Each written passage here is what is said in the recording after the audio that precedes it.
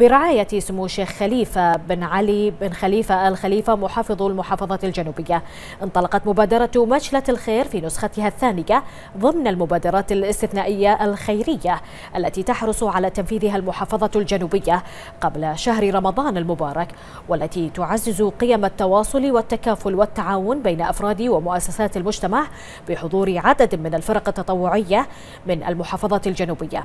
وقد أكد سمو المحافظ أن هذه المبادرة توثق مساندة المحافظة للأسر والعمل على تخفيف الأعباء المعيشية مع قرب حلول شهر رمضان المبارك إضافة إلى حرص المحافظة على تفعيل الشراكة المجتمعية مع القطاع الحكومي والأهلي والخاص.